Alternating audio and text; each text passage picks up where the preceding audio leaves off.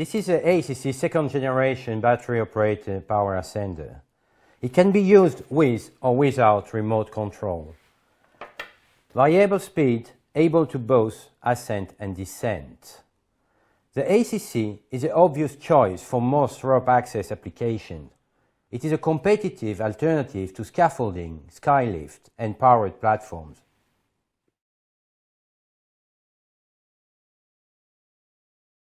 One of the core parts of the ACC power ascender is a battery pack. It is a lithium-ion high current battery.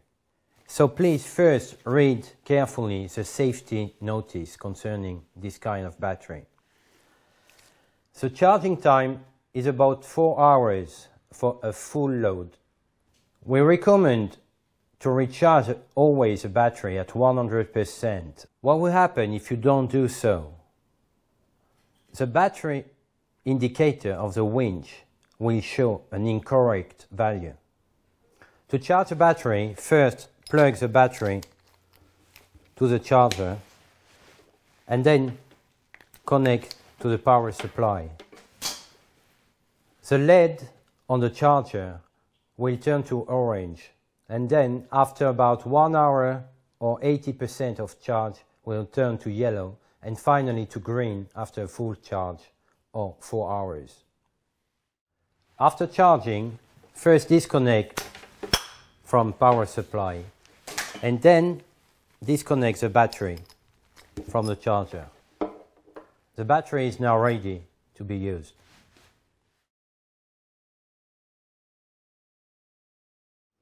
To connect the battery to the ACC, insert a battery pack to its pocket and connect the battery to the plug.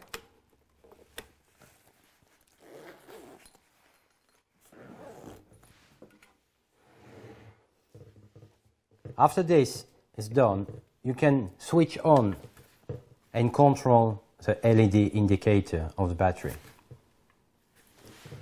If you need to store the ACC for a longer time, we recommend to disconnect the battery.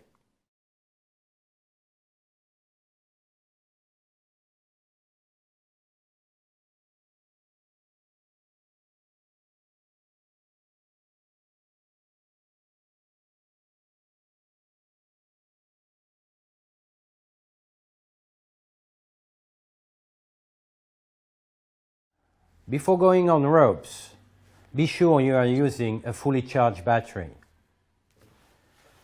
Check the connector, the sling, and the rope grab system, and then a functional test of the winch. Moving up, down, and also control the function of the safety switch on the side.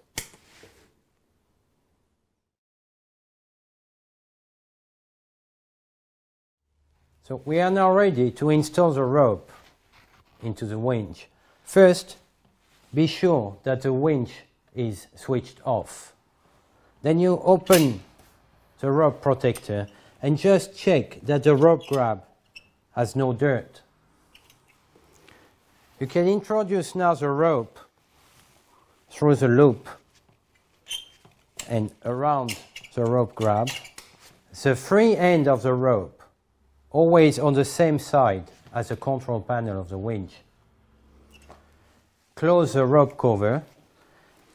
You can now switch on the ACC and carry out the functional test.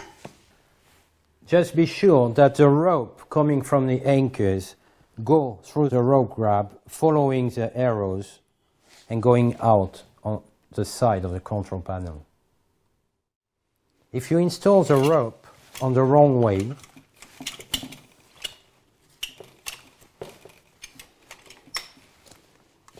it will not be possible to carry out the lifting test.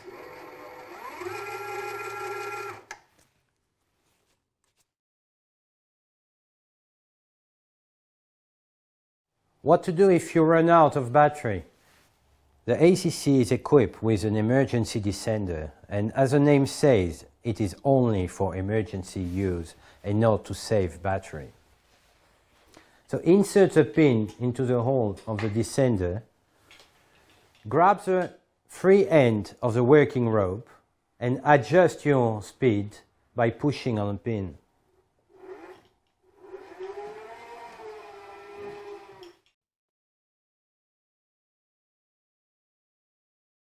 Another setup to connect the winch to the technician's harness is to use a quick draw, a Maillon Rapide and a small rigging plate. In that configuration, the winch is maintained in a very high position, which makes work for the technician much easier.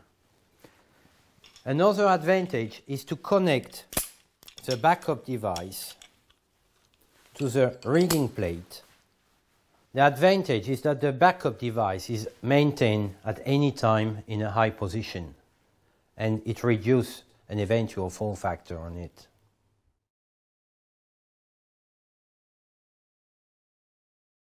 In case of emergency, I can activate or wake up the system from the ground with a remote control by pressing the central button. And I can lower or lift a person with two different speeds. Or lift. Pushing any button of the receiver activates the remote control system. Select the down speed function with the right button. Select the up speed function with the left button. Press once for half speed or press twice for full speed. And use the central button to run the ascender. When the receiver is on, the ascender can only be operated over the remote system.